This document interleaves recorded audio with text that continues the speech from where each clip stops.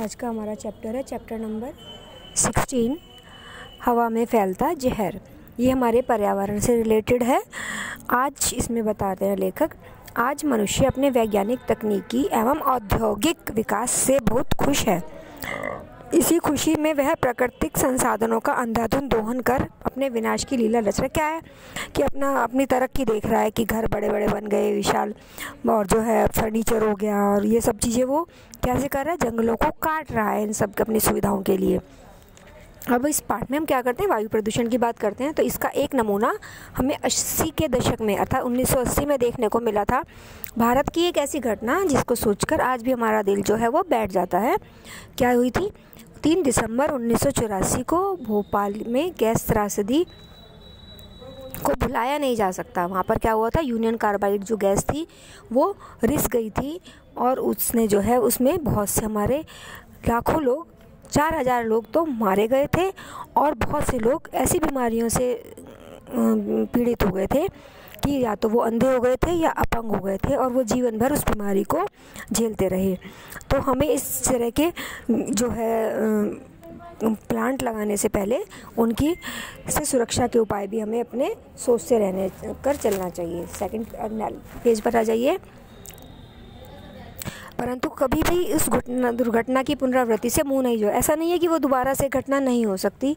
वैसे भी औद्योगिकरण के कारण विशाला धुआँ रिस रिस कर वायुमंडल को, की वायु को प्रदूषित करता जा रहा है। इस प्रदूषित वायु में सांस लेकर लोग प्राण, वायु प्रदूषण का शिकार होकर गंभीर बीमारियों को झेल रहे हैं। अगले पैरे में, मनुष्य भोजन के बिना महीनों जी सकता है, पानी के बिना कुछ दिन गुजार सकता है, लेकिन सांस लिए बिना वह चंद मिनटों में ही मृत्यु को प्राप्त हो जाता है। मनुष्यों ने, वैज्ञानिकों ने अनुमान लगाया कि एक जो है व्यस्क अर्थात बीस बाईस साल का व्यक्ति जो है, वो लगभग डेढ़ किलोग्राम खाना खाता है और पानी ढाई लीटर के करीब पीता है। लेकिन अगर सांस की बात की जाए तो वह एक दिन में पंद्रह किलोग्राम वायु का आदान प्रदान करता है। तो इतनी अधिक वायु शरीर में प्रवेश करने के साथ ही वह यह भी निश्चित कर देती है कि प्रदूषित पानी और भोजन की अपेक्षा प्रदूषित वायु में सांस लेने से मनुष्य के संक्रमित होने की संभावना अधिक रहती है, क्योंकि ये हमारे सारा जीवन चक्र जो है, वायु से ही चलता है। हवा से ही हम, हमारे शरीर में खून बनता है, साफ़ होता है और हमारे शरीर की गतिविधियाँ होती हैं। शहरी और ग्रामीण क्षेत्रों में लगे उद्योग हमारी उन्नति का प्रतीक हैं, लेकिन उनमें से अधिकांश उद्योगों की चिमनियों से क्या है, विशाला धुआँ निकलता है वो कहाँ जाता है? वायुमंडल में फैल कर हमारे वायुमंडल को, हमारी वायु को प्रदूषित कर देता है और उसके जो प्रदूषक तत्व हैं, वो फेफड़ों में जाकर इकट्ठे होकर हमें हानि पहुँचाते हैं। वायु के प्रदूषण करने को प्रदूषित करने में केवल उद्योगों का ही हाथ नहीं है। वायु को प्रदूषित करने में वाले और भी घटक कौन कौन से हैं? हमारे वाहन वगैरह हैं, मोटर वाहन माल ढोने वाले जो चीज़ें हैं, जैसे ट्रक, रेल, मालगाड़ियाँ और हमारे दो पहिया वाहन, बस, जीप, मोटरसाइकिल, ये सारी चीज़ें जो हैं, क्या है? वायु प्रदूषण को बढ़ावा देती हैं। अगले पेज पर चलिएगा। वायु प्रदूषण ने धरती पर जीवन को खतरे में डाल दिया है। इसके कारण पक्षियों की अनेक प्रजातियाँ विलुप्त हो गई हैं। कुछ पक्षी ऐसे हैं जो कि बिल्कुल ख़त्म हो गए हैं और कुछ विलुप्ति के कगार पर हैं। माना कि वायु प्रदूषण का मूल्य चुकाए बिना आधुनिक जीवन शैली की सुख सुविधाएँ जुटा पाना संभव नहीं है, परंतु क्या है उसके लिए हमें? ये नहीं है कि हम करते रहें। हमें उसके लिए अच्छे उपकरण तैयार करके उनका उचित प्रयोग से प्रदूषण को हम काफ़ी सीमा तक कम कर सकते हैं। इसके साथ ही क्या है? दैनिक व्यवहार में इको फ्रेंडली चीज़ों का प्रयोग करना चाहिए, जैसे प्लास्टिक वगैरह का प्रयोग नहीं करना चाहिए, कचरे वगैरह को नहीं जलाना चाहिए। और दूसरा जो है अधूरा दहन बताया गया है। ईंधन की मात्रा घटाकर ईंधन और हवा में के सही अनुपात से दहन को बढ़ाया जाए। हम किसी चीज़ को जलाते हैं तो क्या करते हैं, हम बहुत सारा ढेर जो है ईंधन का, जलाने वाली चीज़ का लगा देते हैं। तो उसमें हवा पार नहीं हो पाती तो उससे क्या होता है, धुआँ निकलता रहता है।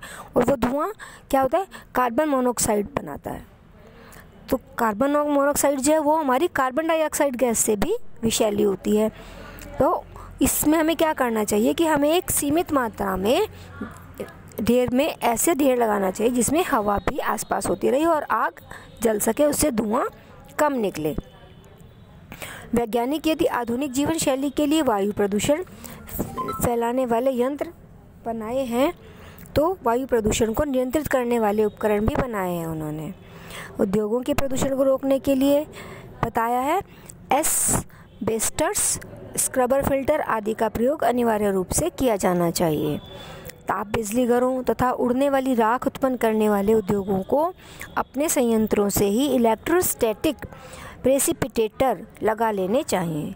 और इन उपकरणों को लगाकर ये नहीं कि निश्चिंत हो जाएँ, लेकिन इनकी समय समय पर जाँच और इनकी सफ़ाई भी करते रहना चाहिए।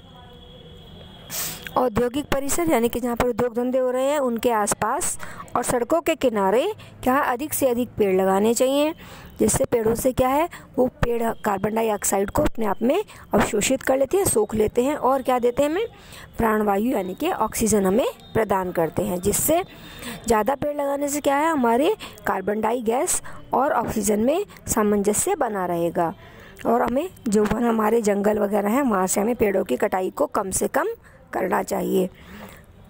इससे हम धरती के बढ़ते तापक्रम को नियंत्रित कर सकते हैं और उससे होने वाली बीमारियों के प्रकोप से भी हम बच सकते हैं।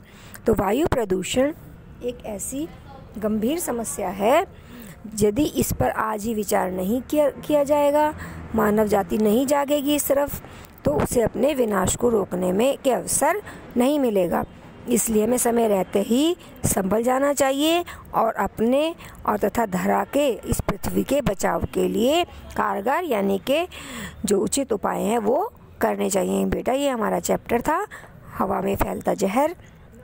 बुक वर्क हम इसका कल करेंगे। Okay students